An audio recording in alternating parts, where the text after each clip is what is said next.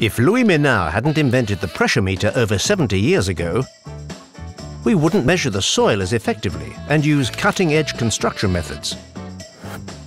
There'd be a lot more leaning towers.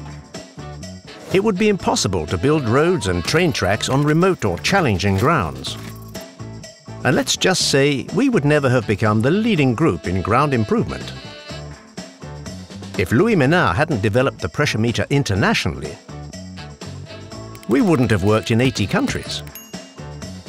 We wouldn't have developed a wide local network offering our clients a variety of solutions, anywhere from remote areas to big capitals, like Mexico's new international airport or a future wind turbine in a small town in France. If Louis Menard hadn't instilled within us an entrepreneurial spirit, we wouldn't have ConeTec and REMEA by our sides enabling us to participate actively at every step of the life cycle of an infrastructure from soil investigation through soil improvement to soil remediation.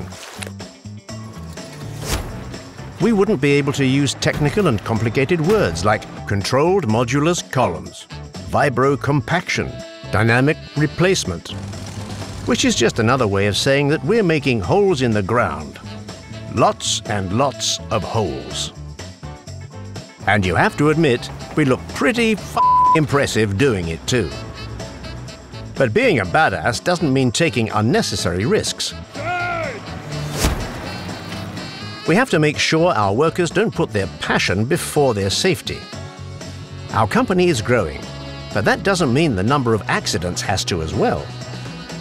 With 1,200 workers around the world completing over 2,200 projects each year, Safety is not only our top priority, it's also one of our core values on which this company was built. Because the qualities that led Louis Menard to invent his pressure meter are the same ones that guide us today. Taking care of each other, providing simple and safe solutions for complicated tasks, entrepreneurship, and curiosity. They're what make us uniquely qualified to dream bigger and travel further. By going back to the essentials, our projects can be bigger, better and safer, making sure every worker comes back home safe.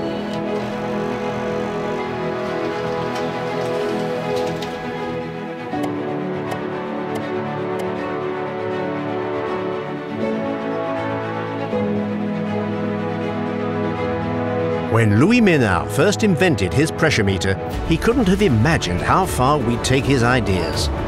But we think he would have liked it.